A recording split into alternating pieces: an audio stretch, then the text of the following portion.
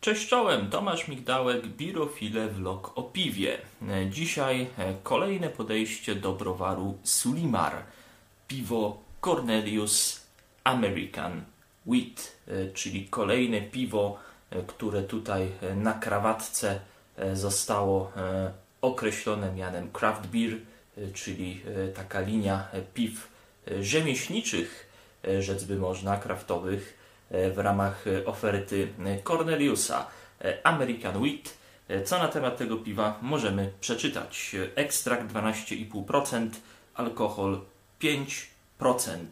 E, Piwo pszeniczne górnej fermentacji, niefiltrowane, pasteryzowane. E, Łączy cechy typowe dla piw pszenicznych, słodowość i kwasowość z zapachem amerykańskich odmian chmielu. E, Składniki: woda, sód pszeniczny, sód jęczmienny, chmiel, drożdże. E, Data przydatności 15 lipca e, 2018 roku. E, Piwo e, kosztowało e, 4 zł i 89 groszy. Tak wygląda etykieta. Mamy naszego koguta ze szklanką piwa, czyli motyw, który już się pojawiał na innych piwach z tej serii. E, Tutaj jest krawatka właśnie z tym napisem Craft Beer. Mamy również e, kapsel dedykowany serii piw Cornelius. E, Zatem okej, zaraz zobaczymy, co tam w Piotrkowie przygotowali. Otwieramy butelkę. Piwo mamy otwarte, tak się prezentuje kapsel, całkiem ładny. Co w aromacie z butelki?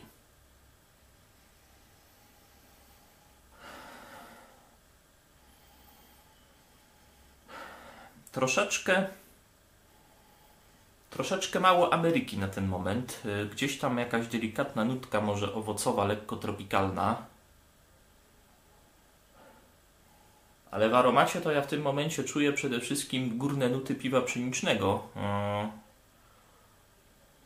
I to raczej są takie górne nuty, które y, bardziej gdzieś nawiązują skojarzenia tutaj z europejskimi y, górnofermentacyjnymi piwami pszenicznymi. Gdzieś tam witowo to, to troszkę pachnie. Jest owocowość, ale czy to jest owocowość odchmielowa? Mam pewne wątpliwości. Zobaczymy, jak będzie po przelaniu do szkła. Piwo tamże trafia. No, barwą już mi dość mocno przypomina e, żywce amerykańskie pszeniczne. E, generalnie e, albo żywiec amerykańskie pszeniczne, albo jakiś całkiem solidny witbier. E, piana imponująca. Barwa jest taka mleczno-żółta z taką pomarańczową, pomarańczową iskrą. Generalnie bardzo ładnie to wygląda. Piana no, zbudowała się bardzo ładna. E, No, można powiedzieć, że imponująca. E, Zbudowana w większości z drobnych e, i nielicznych średnich oczek. Lata tu jakaś mucha, więc jeżeli się pojawi w kadrze, to przepraszam za to. Piana jest naprawdę imponująca. Nie opada, bardzo zwarta. No naprawdę, piana świetna. Ogólnie prezencja wizualna tego piwa mi się bardzo podoba. Ono wygląda po prostu apetycznie. E, pszeniczne piwo, mocno zmętnione, takie mleczne, e, jeśli chodzi o barwę. Zawsze bardzo mnie zachęca do tego, e, aby skosztować, więc no, za stronę wizualną duży plus dla tego piwa. Co w aromacie ze szkła?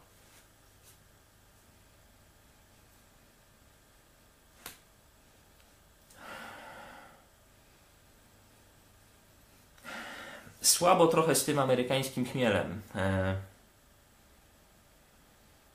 troszeczkę takich owocowych nut, może gdzieś tam delikatnie tropikalnych, ale naprawdę jest to dość mocno wycofane. Czuć natomiast e, w dalszym ciągu to, co się też zaznaczyło z butelki, czyli takie e, górne nuty pszeniczne, bardziej się kojarzące właśnie z taką europejską górną fermentacją, e, czyli takie klimaty trochę witbirowe,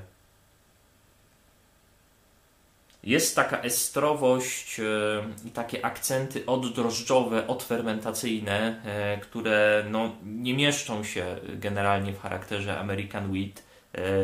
Ja zawsze mówię o tym, że American Wheat samo w sobie jest dość, dość takim nijakim stylem i tutaj całą pracę tak naprawdę wykonuje amerykański chmiel, którego tutaj w aromacie nie za bardzo czujemy, e, więc w sumie takie nuty górne, jeżeli się pojawiają American Wheat, e, to ja ich do końca nie poczytuję za wadę, dlatego że one są zawsze jakąś e, tutaj wartością dodaną, no ale powiedzmy, że nie jest to stylowe. Gdzieś tam bardzo takie delikatne muśnięcie tropików, ale to jest naprawdę na dalekim planie, zatem próbujemy Cornelius American Wheat. Wasze zdrowie.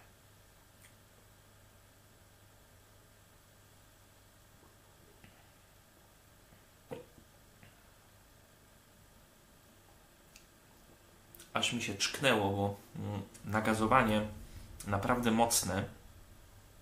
Trochę, trochę zbyt intensywne jak dla mnie, aczkolwiek jakoś tam powiedzmy no wpisujące się, przepraszam za tę muchę, E, wpisujące się mm, w charakter piwa pszenicznego, wpisujące się w charakter American Wheat.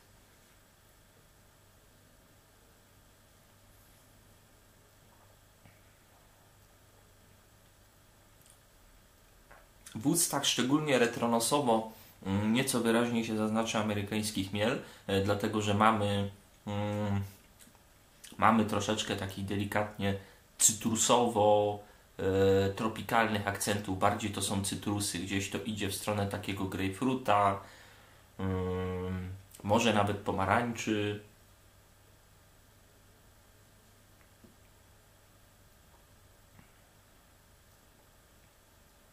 Nagazowanie dość wysokie, dla mnie odrobinę za wysokie, no, troszeczkę drażniące i wywołujące taki, e, taki odruch czkawki przy tym pierwszym łyku, e, co chyba było słychać. Natomiast jest goryczka. Mm, jest goryczka, goryczka jest przyjemna, dlatego że jest krótka i umiarkowana. E, I ja bym powiedział, że ta goryczka pozostawia pewne pole do popisu słodowości w tym piwie, a słodowość w tym piwie jest całkiem solidna. Mm, tylko, że znowu ona bardziej mi przypomina charakterem swoim e, takie górne, górnofermentacyjne pszeniczne piwa z Europy, aniżeli American Wheat. E, możemy się tutaj doszukać takich estrowych nut oddrożdżowych, takich charakterystycznych troszkę klimatów e, dla witbirów. Ktoś może nawet tutaj powiedzieć, że e, odrobinę wajcenowy jest charakter tego piwa.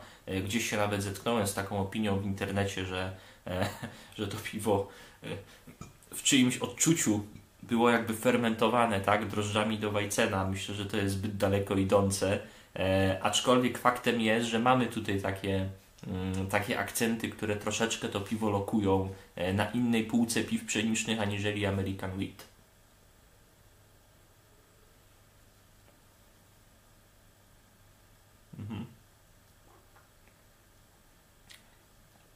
No retronosowo e, takich właśnie estrowych nut e, jest nawet więcej. Natomiast oceniając piwo jako całość, e, jako coś, co ma nam po prostu smakować. Niekoniecznie musi być jakoś kosmicznie stylowe, ale ma nam po prostu smakować, to muszę powiedzieć, że Cornelius American Wheat, e, chociaż nie stylowy do końca, jest całkiem przyjemny. Wadą jest na pewno to, że nie mamy bardzo wyrazistego aromatu amerykańskich mieli. Musimy się tego doszukiwać. W ustach się to pojawia, zaznacza nieco wyraźniej, dlatego że możemy jeszcze sobie gdzieś to retronosowo znaleźć. Mm, ale tak jak bierzemy szkło i po prostu wąchamy, to może teraz jak się troszeczkę ogrzało,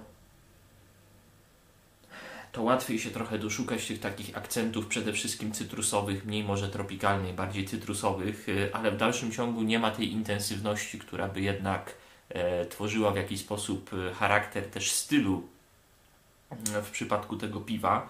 E, jest to na pewno piwo pszeniczne, aczkolwiek jest to takie piwo pszeniczne, które e, też może nie do końca wie czym chce być, czyli e, troszeczkę się powtarza ten kazus żywca amerykańskiego pszenicznego, gdzie z jednej strony mamy tak niby American Wheat na papierze, a z drugiej pojawiają się akcenty charakterystyczne bardziej dla Witbira, czy bardziej nawet momentami dla Weissena. I tutaj także pojawiają się takie właśnie akcenty europejskie w tym American Wheat.